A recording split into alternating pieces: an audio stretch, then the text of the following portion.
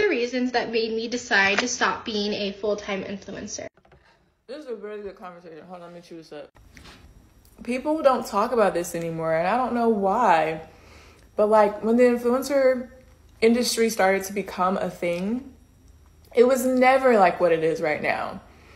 Like people weren't saying, "Oh, I want to become an influencer." Like, you know, seven years ago, three years ago, like it was not really the thing because what influencing was, it was writing blogs, it was making videos on YouTube.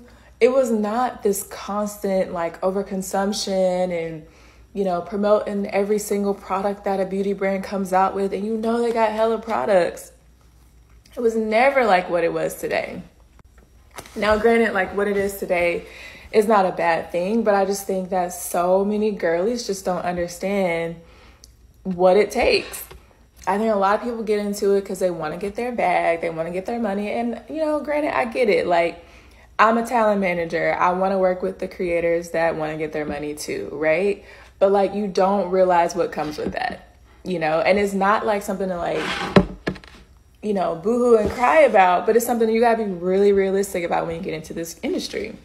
Like, this industry is pretty much a part of Hollywood right? And if you think about like traditional Hollywood, becoming a celebrity, becoming an actor, becoming a model, those are very competitive and it requires a lot of you. And so, in order to like be an influencer, you have to be like focused on yourself. You have to be focused on the money. You have to be willing to consume and to push consumerism. You have to be willing to promote products for the money that you want.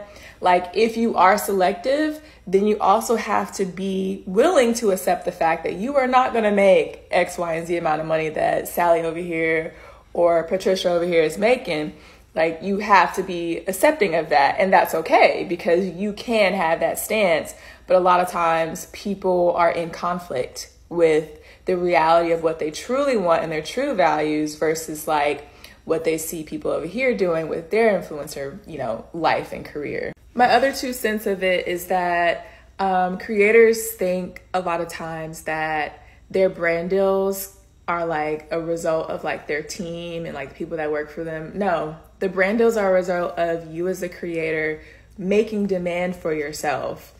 And a lot of times, content creators, you know, I've heard them get in meetings with me like, What have you done for me lately? Where are my brand deals? How many times are you pitching me? And I'm like, It's not my job to do that. Like, I'm just your team. Your job is creating all of that to exist.